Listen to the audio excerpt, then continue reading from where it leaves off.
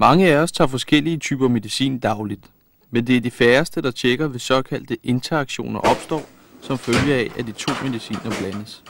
En interaktion kan enten forværre eller forbedre dit helbred. De positive interaktioner bliver ofte brugt på den måde, at man kombinerer forskellige medicin i en såkaldt kombinationsbehandling, og får derved den ønskede effekt ved brug af lavere doser.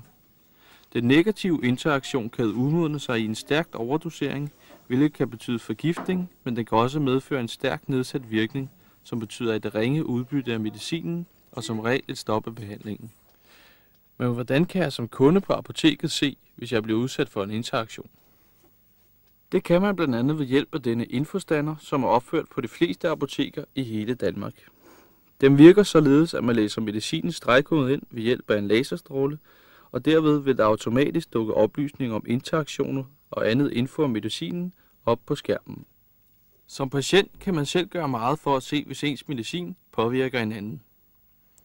På internettet kan man slå op under www.sundhed.dk, og der kan man få information om eventuelle interaktioner og andre komplikationer.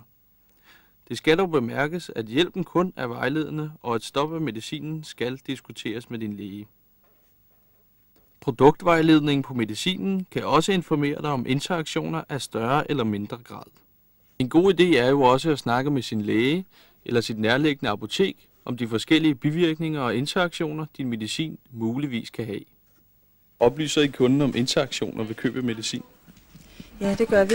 Hvis der er øh, flere præparater, som kunden er i behandling med, og der er, og vi kan se, at der er en interaktion mellem øh, præparaterne, så er det bare vores opgave at informere kunden om det, og øh, i øh, visse situationer er det nødvendigt også at kontakte lægen. Så det er simpelthen et krav fra apoteket og lægens side? Det kan man godt sige, fordi øh, hvad er man kan sige hvad er formålet med at, øh, at give øh, starte en behandling, hvis der er interaktioner mellem præparaterne. Og øh, det er således, at øh, man i dag ikke kan undgå, at der vil være nogle interaktion, at undgå fuldstændig, at der kan være interaktion mellem to præparater.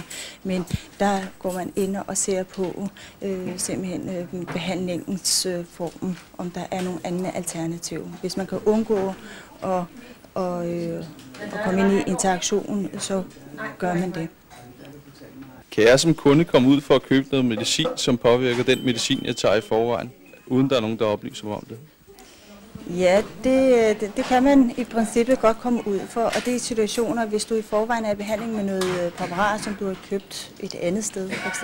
en lige på vores apotek eller et bestemt apotek, jamen så kan vi nå at fange, hvis der er en interaktion mellem øh, to øh, præparater, altså det præparat, som du tidligere er i behandling med, og det du skal til at starte med. Så kan vi nå at fange den, øh, men øh, i princippet kan man godt komme ud for den situation, ja.